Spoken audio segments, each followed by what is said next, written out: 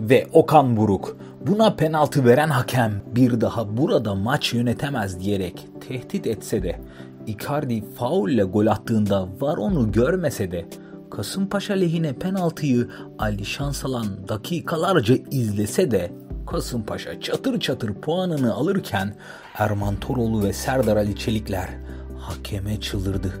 Batshuayi ise parayla saadet olamayacağını bu maçla net bir şekilde anladı.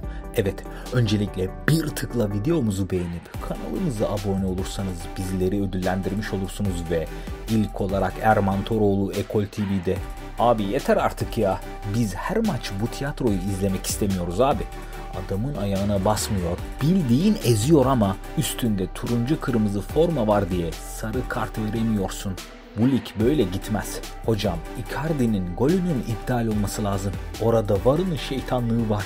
Ali şans alan mı yoksa şans veren mi bilemedim. Icardi'ye kıyak geçilmiş çok net. Galatasaray geçen hafta derbide kaybetseydi bu beraberliğin devamında küme düşerdi derken Serdar Ali Çelikler ise Neospor'da Bugün yabancı bir hakem olsaydı Kasımpaşa bu maçı 5-2 kazanırdı veya 4-2 kazanırdı. Bir kere vardan iptal edilen gole yabancı var karışmazdı. Ya hakemler siz aptal mısınız? 4-5 dakika neyi inceliyorsunuz ya? Jakobs bile itiraz etmemiş ya. Sen neyi inceliyorsun 4-5 dakika? Ya Muslera bile itiraz etmemiş kardeşim. Siz olduğunuz sürece takımlarımız Avrupa'da hiçbir şey yapamaz dedi. Batshuayi ise sarı lacivertli formayı giydiği anlarda el üstünde tutulup morali yüksek olması için sırtı sıvazlanırken ezeli rakip de daha şimdiden yerin dibine sokulmaya başlandı.